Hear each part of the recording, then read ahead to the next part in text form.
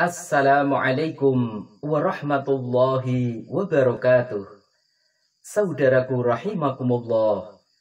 Untuk Anda yang tidak hafal atau kesulitan membaca doa iftitah yang panjang, atau bagi Anda yang ingin mengerjakan sholat dengan ringan, berikut ini kami sebutkan bacaan doa iftitah yang pendek, yang tak kalah keutamaannya dengan doa iftitah yang panjang disebutkan barang siapa yang membaca doa iftitah yang pendek ini, maka para malaikat akan berebut mencatat dan mengangkat amalnya ke hadirat Allah Subhanahu wa taala.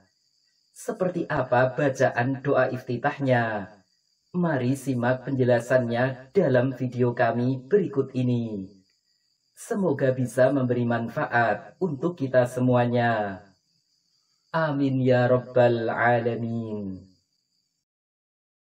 Doa iftitah pendek ini asalnya dari salah seorang sahabat Nabi yang datang dan sholat bersama beliau. Sahabat tersebut ketika sholat membacanya. Lalu selesai sholat, Nabi menanyakan siapa yang membaca doa tersebut. Setelah sahabat yang membacanya menjawab, beliau lalu bersabda, Aku melihat dua belas malaikat bersegera menuju kepadanya. Mereka saling berlomba untuk mengangkat doa tersebut kepada Allah. Hadis riwayat Muslim, Abu Dawud, dan Nasai. Doa iftitah yang dimaksud adalah Alhamdulillahi hamdan kathiran tayyiban mubarakan fih. Segala puji bagi Allah dengan pujian yang banyak pujian yang terbaik dan pujian yang penuh keberkahan di dalamnya.